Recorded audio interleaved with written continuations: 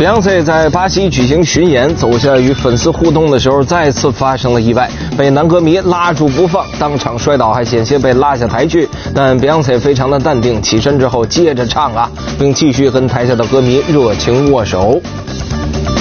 然后韩国的人气组合 Super Junior 在广州开唱，几位成员活力四射，除了献上劲歌热舞之外，还脱衣服秀身材，又身着女装，戴着假发出场，卖萌撒娇。这搞笑的桥段呢，让现场的气氛非常不错。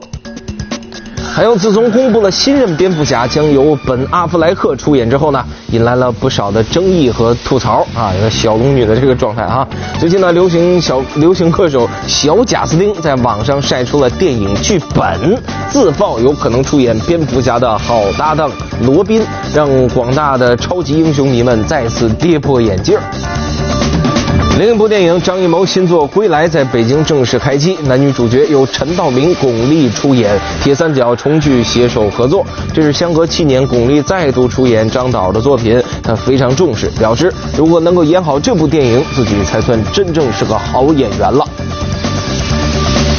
听起来这部戏好难演的样子哈。再来看 JYG 演唱的仁川亚运会会歌《Only Once》最近曝光了，歌曲旋律轻快，充满正能量。我们现在听听。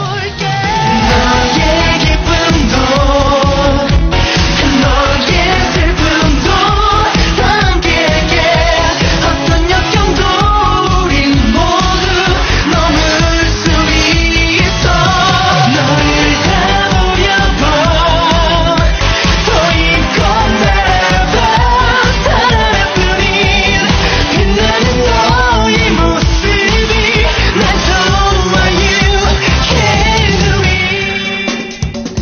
早前，容祖儿为新歌《天台》到台湾拍摄 MV，她以复古的造型亮相，展示出性感妩媚的一面。工作期间呢，杜德伟专程前来探班，为她送上惊喜，让容祖儿大呼：“再怎么辛苦也值得。”